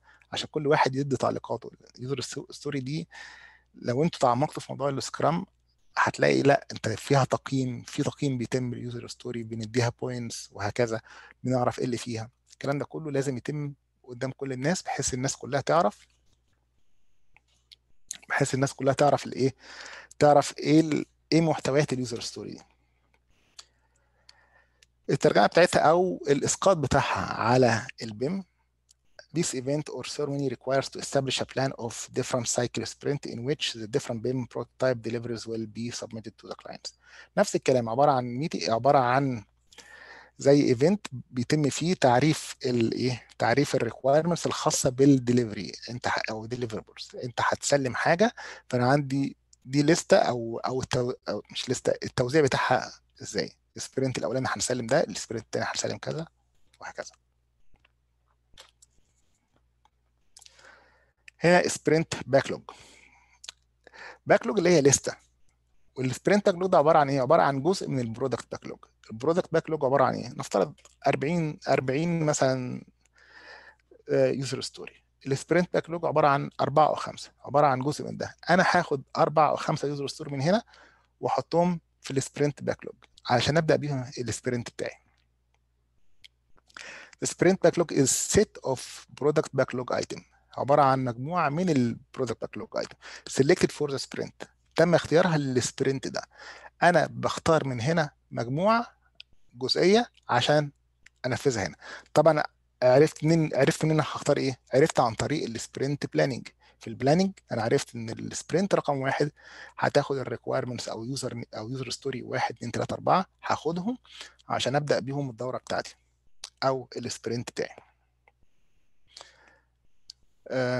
تاني plus a plan of delivering the product increment and realizing the sprint goals علشان بالاضافه الى بلان كيفيه تطبيق الايه التسليم ده وتحقيق الهدف بتاع السبرنت sprint backlog is a forecast by the development team about what functionality will be in the next increment and the work needed to deliver that functionality into a done increment نفس الكلام السبرنت باكلوج عبارة عن توقع من ال development team على الوظيفة أو ال functionality الخاصة بال increment دي. يعني ال increment دي أو الجو أو ال deliverables أو التسليمة دي هيكون فيها إيه. لو على هنسقطها على ال BIM عبارة عن list of requirements that the design team have to accomplish in order to create a certain sprint part of release prototype. لو أنت عندك جزئية عندك BIM prototype عندك تسليمة. خلاص الليستة بتاع التسليمة دي هي دي إيه؟ هي دي ال sprint backlog بعدين هندخل بقى في ال sprint نفسه. ال sprint نفسه ده اللي هو تقريبا 80% 80% من الوقت كله قايم في ال sprint. عبارة عن time box of 1 month عبارة عن شهر كامل بنعمل بيه ال sprint ده. ماشي؟ in which a done usable and potentially releasable product increment is created الغرض منها ان إحنا بنطلع increment done خلصان sprint have consistent duration throughout a development effort الوقت بتاع السبرنت ده وقت ثابت a new sprint start immediately after the conclusion of the previous sprint السبرنت اللي بعديها بتبدا على طول بعد ده نخلص من دي على طول continuous واحد اثنين ورا يعني واحد اثنين ثلاثة ورا بعض كله ورا بعض. No change are made that would endanger the sprint goal. ال change هنا مش مسموح بيه اللي هو التشينج الايه؟ الأساسي. انت خلاص عندك user story بتنفذها بت... okay في تغييرات بتتم لكن تغييرات قليلة. ما بتهددش الايه؟ ال sprint ما بتغيرش ال target لو ال... لو ال... التغيير ده هيغير حي... ال target لا لازم وقفه لازم نعمل يا إما نعيد تخطيط الموضوع ده يا إما في حاجة تتم. لكن التغيير عامة غير مسموح غير في أضيق الحدود في الايه في على مدى على مدى ال sprint ده. Quality quality goals don't decrease. الهدف بتاعنا طبعا ال quality وهكذا. هنا usually in BIM design we should create 1 to 2 weeks. عامة لو إحنا أسقطنا الكلام ده على مستوى ال BIM إحنا ما بنحتاجش أربع أسابيع بنحتاج أسبوع اتنين عشان نعمل coordination يعني لو أنت بتعمل coordination ما بينك وبين الأطراف مش هقعد أصبر شهر لغاية ما أخلص أعمل جولة كده أهو وأعمل كذا. لا كل أسبوع كل أسبوع أو اتنين بعمل sprint وهكذا. ده ال daily scrum ده عبارة عن إيه؟ كل يوم الصبح قبل ما نبدأ ال sprint بتاعنا أو أو أو قبل ما نبدأ الشغل بتاعنا بنقف مع بعض ونشوف إيه اللي إحنا عملناه امبارح اللي إحنا هنعمله النهارده العقبات اللي كانت موجودة المفروض إيه؟ تذلل. ماشي؟ عبارة عن 15 دقيقة maximum بس ضرورية يعني عشان بحيث الناس كلها تبقى ماشية على خطى واحدة. كل عارف إحنا كنا فين ورجعنا وإيه ورجعنا فين أو رايحين فين. The daily scrum is a 15 minutes time boxed event for the development team. عبارة عن 15 دقيقة. ماشي؟ daily scrum is held every day of the sprint. كل يوم لازم الديلي سكرام بيتعمل. طبعا الكلام ده إحنا شغالين على إيه؟ منهجية السكرام. إحنا كده لو إحنا عاوزين نطبق السكرام ده المفروض يتعمل. At it the development team plans work for the next 24 بنخطط فيه إحنا هنعمل إيه في ال 24 ساعة. ماشي؟ This optimizes team collaboration and performance by inspecting the work since the last daily scrum and forecasting upcoming sprint work. خلاص ده بي بيعزز اللي هو التعاون والإنتاجية بتاعة الإيه بتاعة الأفراد نفسها. daily scrum is held at the same time and place each day to reduce complexity. كل يوم في نفس الميعاد في نفس. في نفس المكان الديلي سكرام لازم تتعمل. خلصنا ال sprint عم خلاص. لما نخلص السبرنت في حاجة اسمها sprint review تقييم. عاوزين نعمل مراجعة مش تقييم معلش. عاوزين نعمل مراجعة. إيه اللي إحنا عملناه؟ عبارة عن زي ما قلنا من ساعة لاربع ساعات ماشي؟ بنشوف إيه؟ done functionalities. بنتأكد إن كل الحاجات اللي عملناها done. أنا عندي user story عندي مثلا خمسة user story بقيمهم كلهم خلاص done خلصوا. updated product backlog. طبعا نتيجة ال... إن الرؤية مش واضحة قوي أو ما كانتش واضحة قوي فال backlog بتاع أو ال product backlog بيحصل له إيه؟ عملية update أو updating فبنعمل في الآخر خالص بنحدث ال backlog أو ال product backlog في نهاية كل sprint next sprint planning date وبنحدد الايه ال sprint اللي جاية. مين اللي بيحضر فيها؟ product owner scrum master team others other اللي هم ال stakeholders اللي هو ممكن ال product owner ممكن أي stakeholders هنا لو هنقرأ بسرعة purpose ثانية واحدة أرفع بس أرفع بس دي أيوه purpose of the sprint review is, is to inspect outcome of sprint and determine future adaptation الهدف منها ان إحنا inspect ال outcome بنعمل فحص لما تم عمله خلال ال sprint ده and determine future adaptation وبنعرف إيه اللي هيحصل أو ال adaptation اللي إحنا هنعمله نتيجه اللي حصل ده في المرحله المستقبليه. The Scrum team presents the results of the work to key stakeholders and progress towards the product goal is discussed. ال scrum team بيعرض ال result اللي هو عمله أو ال increment اللي هو عمله في الايه في ال sprint دي to key stakeholder ال stakeholder اللي هم ال key اللي هم الأساسيين أو الرئيسيين. And progress toward product goals. وبنوضح له ال progress أو التقدم بتاعنا في اتجاه الايه الهدف الخاص اللي إحنا أو اللي إحنا حددناه في الأول. اللي بعديها.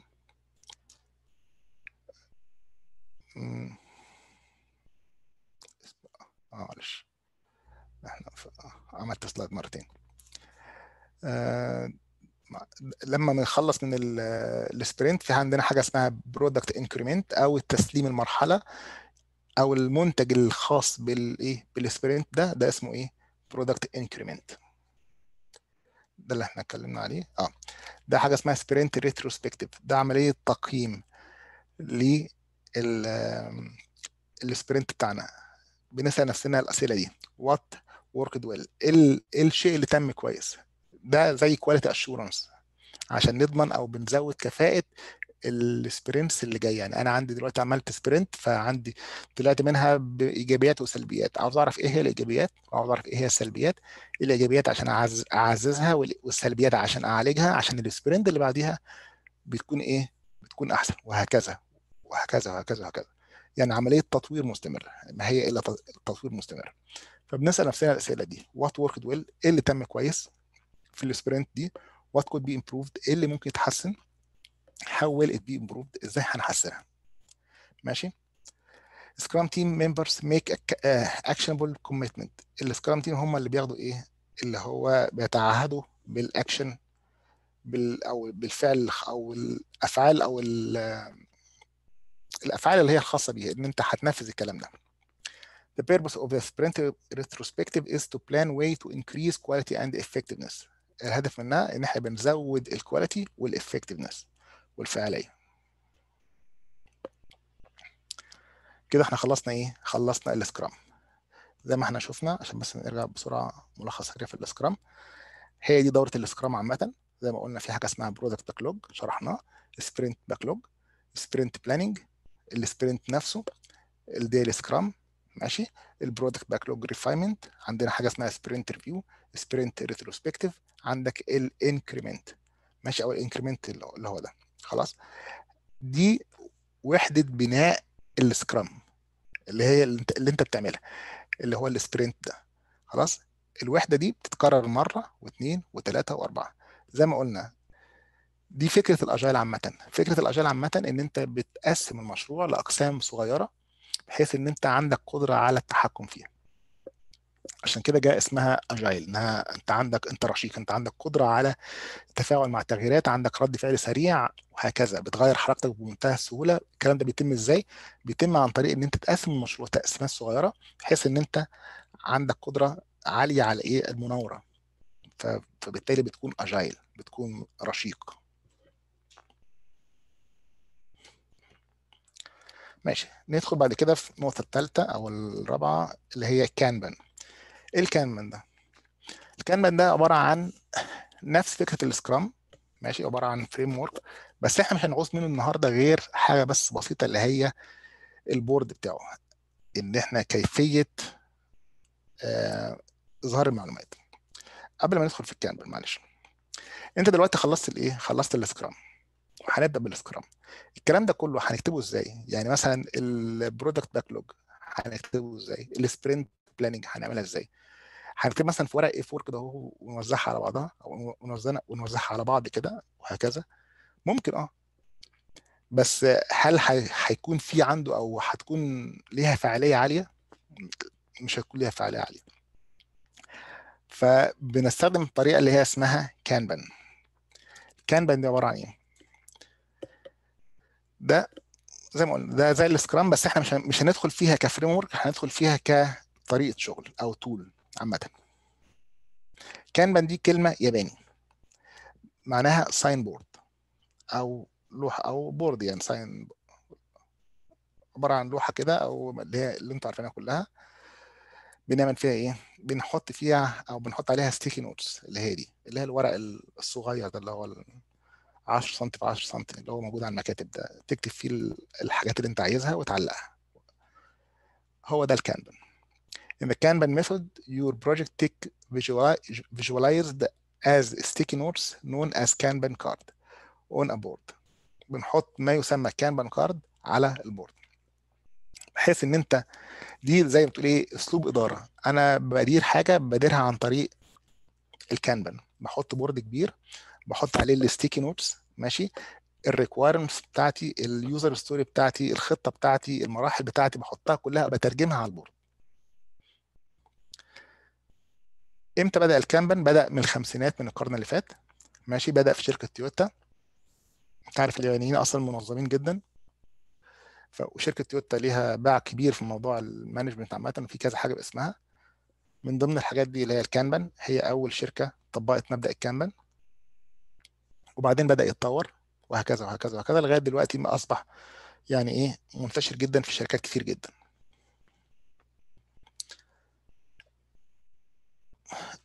ال Kanban إحنا هنعمل بيه الكلام ده. الكلام اللي إحنا اتكلمنا عليه قبل كده. يعني عندنا user story map عندنا sprint planning عندنا sprint backlog الكلام ده كله هنعمله إيه؟ في ال Kanban عندنا board مثلا في ال Kanban هنحط عليه ال sticky notes دي بحيث نعمل ال sprint backlog بحيث نعمل ال sprint planning بحيث نعمل ال user story map بحيث نعمل product backlog هنستخدم ال Kanban علشان نعمل اللي إحنا اتعلمناه فين؟ في ال Scrum ال Scrum ده شرح لك حاجة لكن ما قالكش أنت تعملها إزاي. اكتبها في ورق A4 ما أعرفش أي حاجة. لا هو ما قالكش. هو قال لك في حاجة اسمها sprint backlog هتعملها إزاي؟ اعملها زي ما أنت عايزها. لكن إحنا هنا هنقول هنعمل الكلام ده بالإيه؟ بال Kanban. إيه هو ال Kanban؟ ال Kanban ده هو إن أنت عبارة عن white board أو sign board بتعلق عليه stickers أو اللي هو sticky notes اللي هي الورق الصغير ده. ماشي؟ وكل ورقة بيتكتب عليها حاجة. بيتكتب عليها user story بيتكتب عليها اكشن بيتكتب عليها task بيتكتب عليها أي حاجة. على حسب يعني. ده شكل للمنتج النهائي. مثلا كإيه؟ يعني على سبيل المثال ده عبارة عن ال product backlog اللي إحنا اتكلمنا عليه في ال Scrum هو ده. عندك مثلا ده دي اللي هي التسليمات الأساسية. هنا تسليمات مثلا فرعية. ده ال user story ده ال user story الخاص ب الخاص مثلا بالنقطة رقم واحد. هنا التسليمة دي عبارة عن ثلاث حاجات. الثلاث حاجات دول تحتيها الإيه؟ ال user story دول. كل ده موجود تحت ده موجود تحت ده وهكذا. ده release 1 ده release 2 ده release 3 الكلام اللي إحنا اتعلمناه قبل كده في ال Scrum إحنا هنا بنعمله أو بنظهره أو بنوضحه على الإيه؟ بنوضحه على ال- board ده. ده شكل تاني برضو لل product backlog اللي إحنا اتكلمنا عليه في ال Scrum نفس الكلام. مثلا ده مشروع اسمه مثلا home seeker ده مثلا برنامج معين عاوزين نعمله خاص بالإيه؟ يعني application على الموبايل. بندور فيه مثلا لو انت عايز تأجر البيت تدخل تدخل مثلا عاوز تعمل search على البيت ده بتشوف مكانه بتشوف سعره بتشوف أي حاجة بتشوف أي حاجة خاصة بيه. فهي دي ال product backlog بتاعته. يعني أول حاجة find home أنا عاوز أشوف أدور على بيت بعدين book home عاوز أحجز البيت بعدين stay in home عايز أقعد في البيت وهكذا. فأنت عندك application فال application ده بيعمل زي إيه؟ road map ليك يعني خارطة طريق أنت هتعمل إيه في المرحلة الجاية. هتعمل واحد اتنين تلاتة أربعة. الكلام ده كله مترجم ل story maps أو user stories وال user story دي نفسها متقسمة sprint ات sprint واحد sprint اتنين sprint تلاتة. أول sprint أو أو release ده release أولاني ده release تاني و release التالت ممكن ال release نفسها بتتقسم لكذا sprint مش مشكلة. وهكذا. بحيث إن أنت كل أفكارك كلها ظاهرة على إيه؟ ظاهرة على ال board ده. ماشي؟ وممكن أستغل ال board وش وظهر يعني مثلا ال board الوش بتاعه اسم ال user story الظهر بتاعه ممكن كيفية تقييم ال user story أو ما هي ال task ات الخاصة بال user story.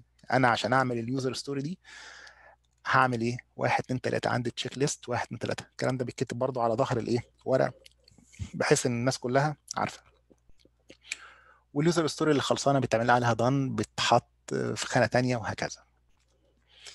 فزي ما قلنا ال Kanban ده عبارة عن tool تستخدم علشان نطبق ال Scrum. هنا برضو شكل نفترض ال product backlog اللي إحنا اتفقنا عليه اللي هي جميع اللي هي كل ال requirements الخاصة بالإيه؟ بالمشروع بتاعنا. عندنا ال requirements بتاع من أول هنا لغاية أهو. خدنا الجزئية دي بس وعملناها في ال sprint رقم واحد. عندنا كام sprint هنا أهو؟ sprint واحد اتنين N يعني معانا شغال معانا. خلاص؟ فال sprint واحد ده خدنا منه إيه؟ خدنا منه أربعة user story شلناهم من هنا من على ال Kanban board حطيناهم فين؟ حطيناهم في ال sprint رقم واحد. خلاص ال user story ده جنبه إيه؟ جنبه check list أو task ات خاصة بيه. يعني أنا عشان أعمل ده عندي ال task ده اتنين تلاتة. بحطها برضو ب sticky notes برضو بلون بلون مختلف وأكتب هنا ده خاص بده وده خاص بده وهكذا. الحاجة اللي تخلص وفي ال sprint رقم واحد ده ال sticky notes دي بتتحرك. بتتحرك مثلا من من column للتاني كل واحد على حسب يعني على حسب خلصت ما خلصتش وهكذا. نخلص منها ندخل في ال sprint رقم اثنين نخلص منها ندخل في ال sprint رقم ثلاثة وهكذا لغاية ما نخلص دي طريقة زي ما قلنا لتطبيق الايه ال scrum هنا مثلا ال sprint backlog عبارة عن نتخيل ده board بتاعنا خلاص وده ال sticky notes الصفرا دي ده عبارة عن إيه؟ ده عبارة عن ال user story بتاعتنا اللي إحنا خدناها من الايه؟ من ال product backlog ال product backlog اللي هو الايه؟ اللي هو ال list ة الكبيرة قوي اللي فيها كل ال user story الخاصة بالمشروع إحنا خدنا منها كام؟ خدنا منها خمسة بس اللي هم خاصين بال sprint ده. وال sticky notes دي دي اللي, دي اللي هي ال actions أو ال task ات الخاصة بالإيه؟ خاصة بده. ماشي؟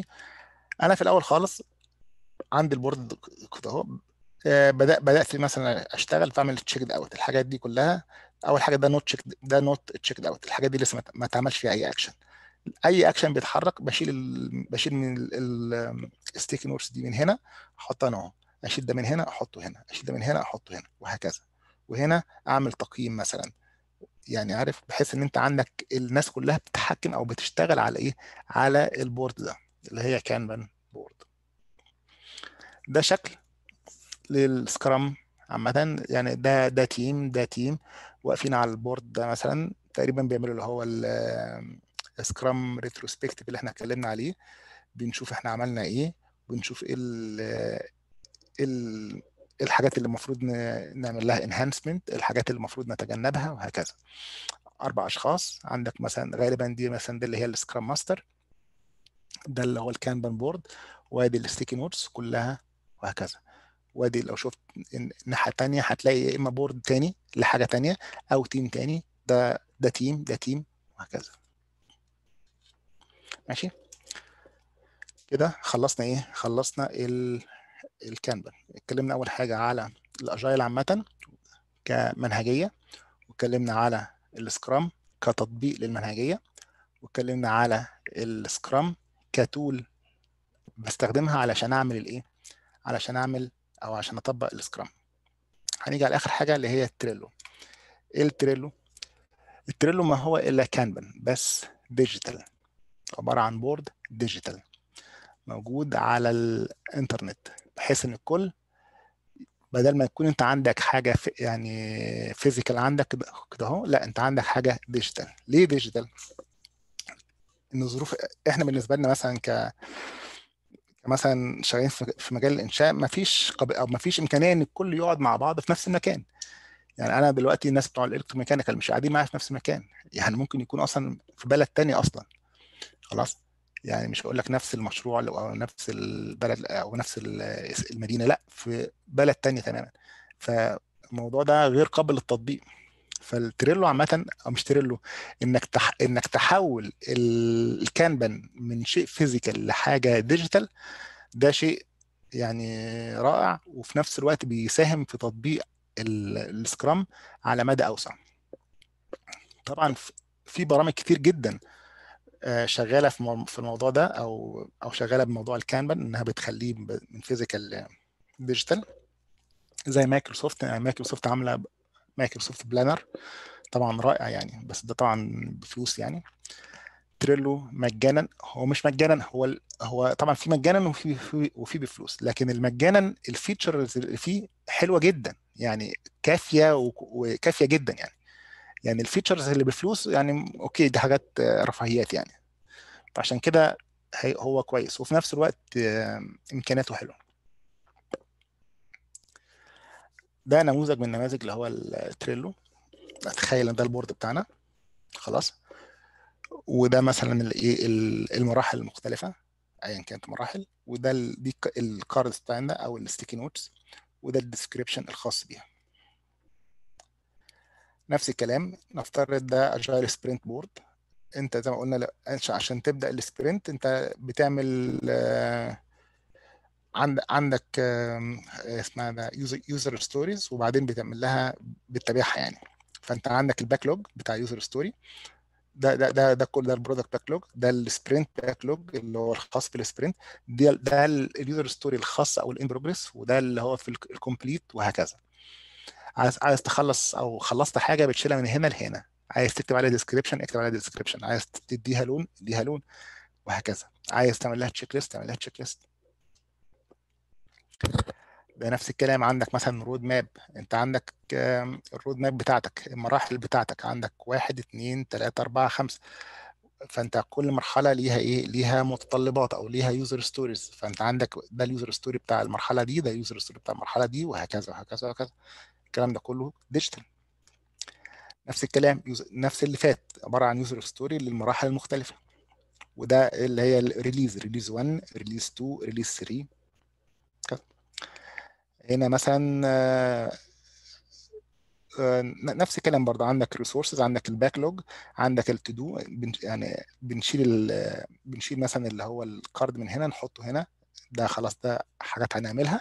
ده ال doing بيتم عملها. ده البلوك ده ال quality control ده ال done وهكذا. بنشيل من هنا لهنا وبنحط إيه assignment لفلان. يعني فلان هو المسؤول عن الكلام ده كله ونعمل description ليها وهكذا. الكلام ده كله هنشوفه دلوقتي. يعني هندخل دلوقتي وهنفتح النت ونشوف الكلام ده. ده برضو صورة تانية. آه طبعا زي ما واضح أنا شغال في مجال ال construction أهو. يعني الموضوع كله مش مش مش software بس.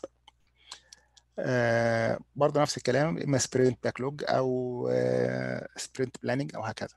الناس كلها موجودة و ك scrum meeting أو ال scrum team وشغالين. ده نفس الكلام. work in progress product backlog sprint backlog current current sprint to do in progress ready to verify sprint done. نفس الكلام.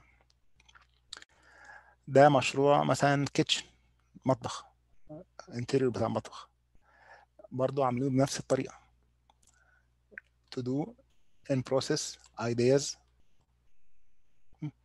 ده kitchen modeling برضه مشروع لل kitchen modeling عاوزين نعمل modeling بال kitchen وهكذا. فهو ال Trello عامة أو الطريقة دي Kanban دي طريقة أصبحت زي ما قلنا قبل كده أصبحت فعالة جدا. والناس كلها دلوقتي زي زي ما تقول كده موضة. كل دلوقتي شغال بيها. كل الشركات شغالة بيها. إحنا عندنا في الشغل مثلا شغالين مش مش ب Trello شغالين ب Microsoft Planner هو هو أنا بالنسبة لي طبعا أنا عشان الدنيا عندي مفتوحة أكتر فامكانياته أحسن من ده. لكن Trello طبعا كحاجة free رائع يعني. كده إحنا خلصنا. نفتح الايه ال Trello عامة. ده ال Trello. انت بتدخل بتعمل sign بتعمل registration تكتب إيميلك وهكذا بحيث إن أنت إيه بتعمل account عليه. خلاص؟ نفترض إن إحنا عملنا account هيبقى بالشكل ده.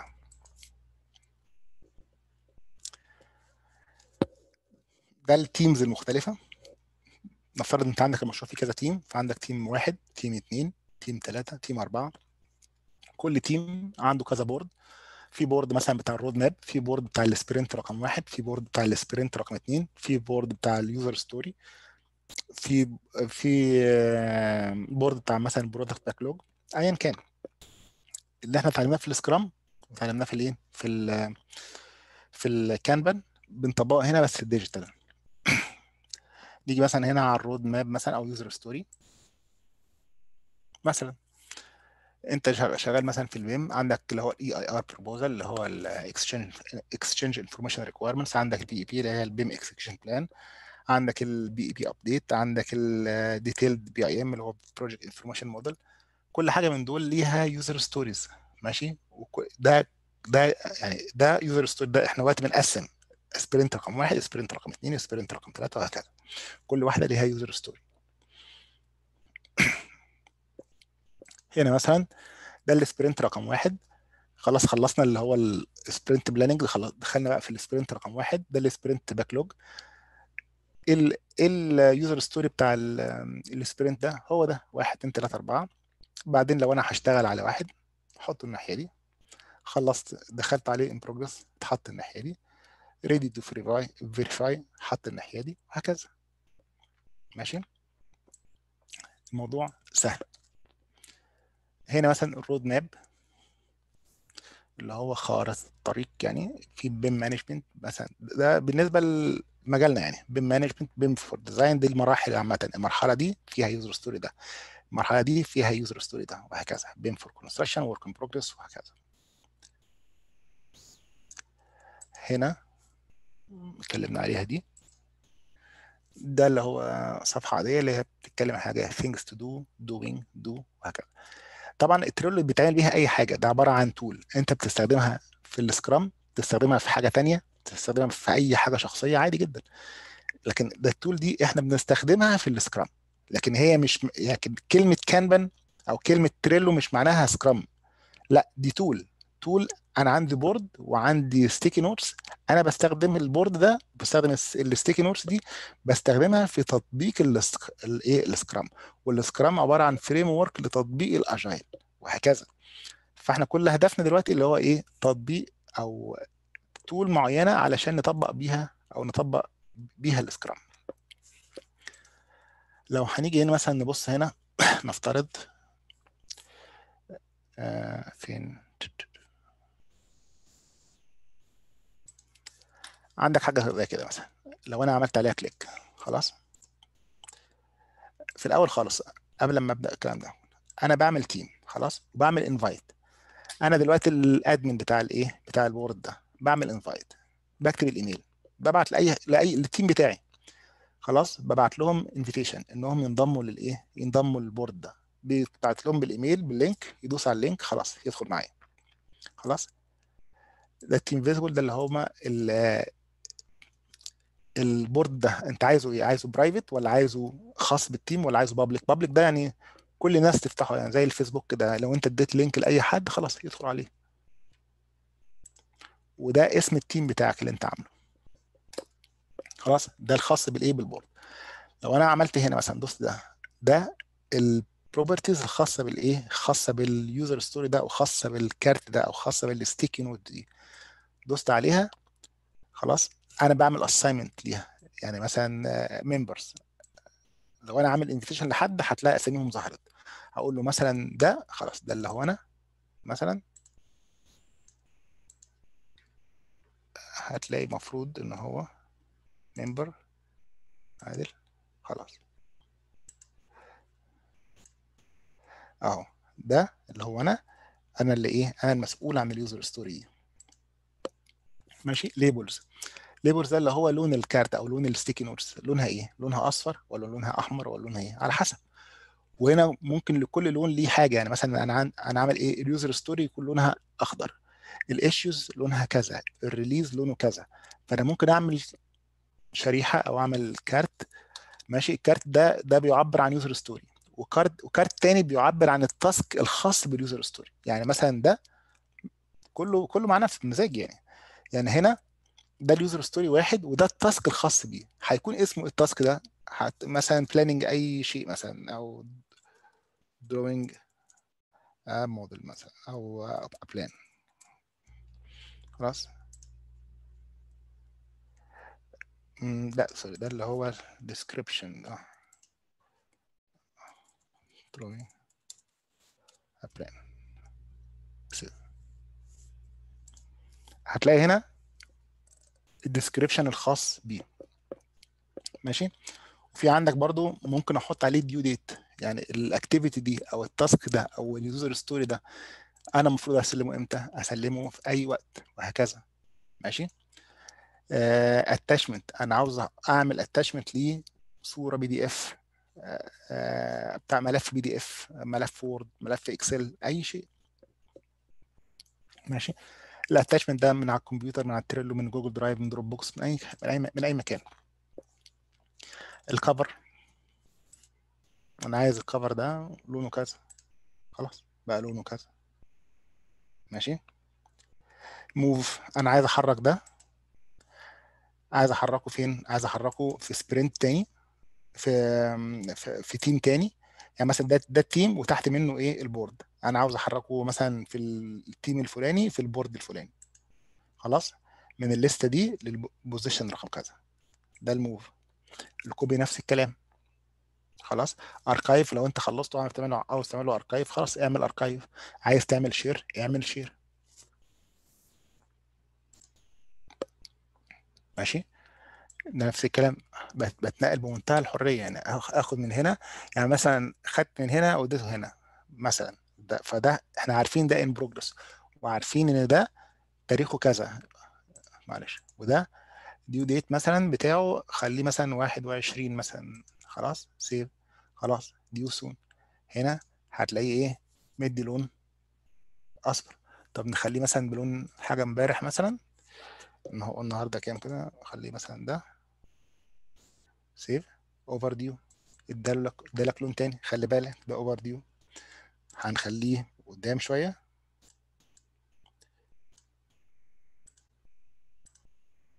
خلاص. خلاص. لا لونه أصفر ولا لونه أحمر. مديلك نوفمبر 30 ماشي. أنا حتى هو عنده بيديك إنذار إن الكلام ده due soon الكلام ده overdue هكذا ماشي. في حاجات سريعة زي ده. edit label مثلا. أنا عايز أخليه ده مثلا. save وهكذا. ماشي. ادوس عليها. اللون ده, ده عبارة عن ده release 1 ده user story كل حاجة من دي أظن أظن كان ليها رقم. ماشي. هنا. واحد آه. في طبعا shortcut كتيرة. مثلا أنا بدوس على رقم واحد يطلع لي مثلا ده أدوس على رقم اتنين يطلع لي ده اللي هي الألوان. يعني في زيه زي أي برنامج عادي يعني بس كل الحكاية اللي هو إن هو اونلاين change member عاوز أغير الناس أو الشخص المسؤول عن الكلام ده. عايز أعمل له move copy يعني دي طريقة تانية للتحكم في الإيه؟ في ال card ده. ده اللي هي الطريقة السريعة. في الطريقة اللي هي الأساسية أو ال- ال window الأساسية هي دي. بغير الاسم نفسه user story واحد user story اتنين. آه في إيه تاني؟ في عندنا هنا checklist إيه ال checklist دي. أنا بضيف هنا checklist أنا عشان أعمل الكلام ده كله بعمل عشان أخلص ال user story دي محتاج أعمل أربع حاجات أو حاجتين. فأعمل ال checklist مثلا واحد. خلاص؟ وأعمل checklist اتنين أو item اتنين. item مثلا اتنين.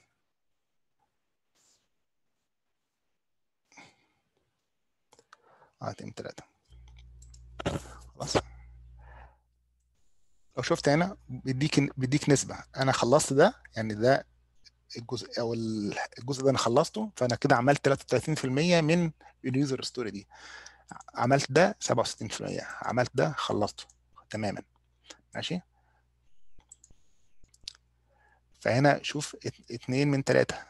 اللي هو ك checklist انت عامل ال checklist أنا خلصت حاجتين من تلاتة. لو ده فتحت الناحية دي أنا فعلا خلصت حاجتين من تلاتة وهكذا. في ناس بتفضل إنها ما تعملش ال checklist هو في ناس بتعمل بتفضل إنها تعمل card card جديد مثلا وال card ده ده بتاع ال checklist مثلا. check مثلا list وعشان أميزه عن الكارت الفوقاني بس بديله مثلا إيه بديله مثلا لون أديله مثلا اللون ده مثلا ده خلاص وسم وأسمي اللون ده ده التشيك ليست مثلا.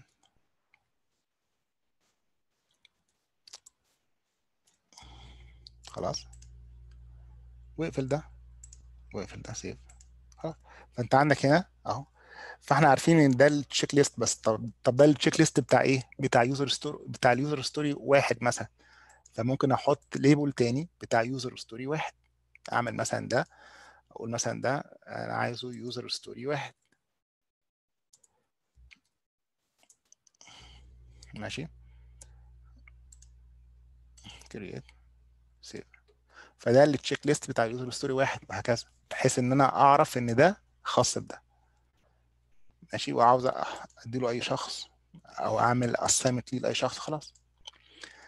ماشي؟ هنا نفس الكلام. عندنا برضو setting خاصة بالإيه؟ خاصة بال board كله عامة. يعني عندنا مثلا هنا labels ده عاوزين نتحكم في ال labels عامة. هنا عايزين setting مثلا change team مثلا. لو أنا عاوز أغير ال team اللي أنا شغال اللي أنا شغال لا أو عاوز أخلي ال board ده يروح ل team تاني. آه فين تاني؟ setting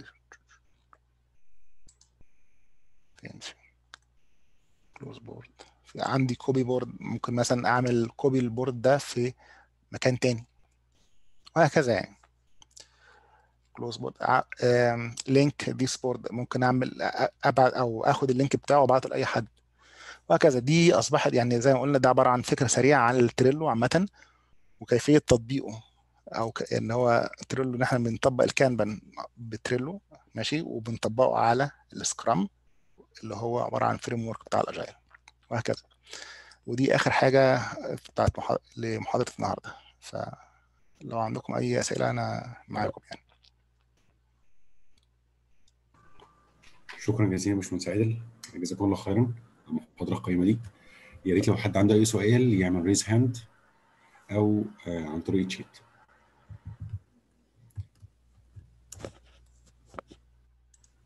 يا ريت أي حد عنده سؤال يعمل raise hand أو عن طريق التشات